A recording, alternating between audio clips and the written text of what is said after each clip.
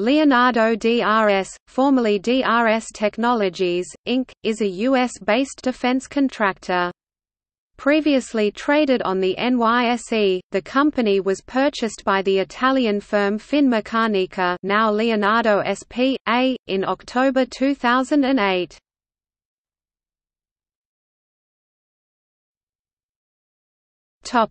History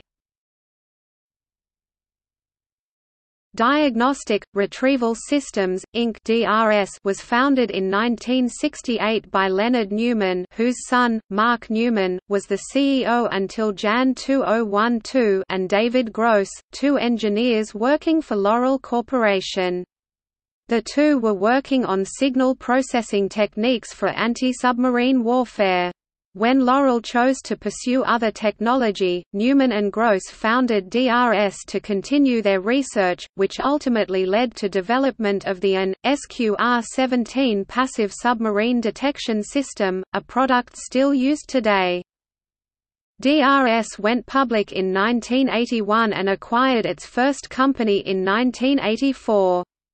By 1994, DRS set a goal to become a mid-tier defense contractor, defined by $500 million in sales, notwithstanding that DRS at the time had only $58 million in sales.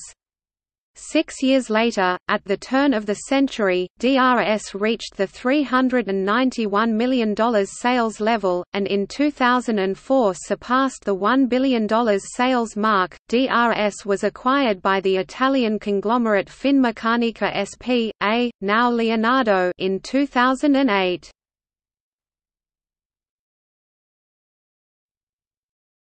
Topic: Products.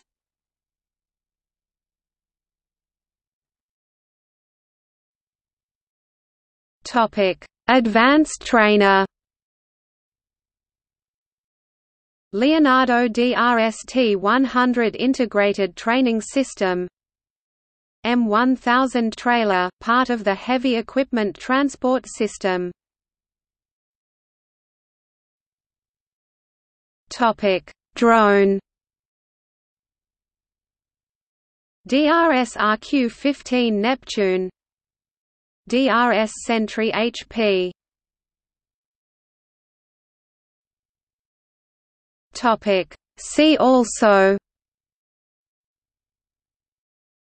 Top 100 U.S. federal contractors. War economy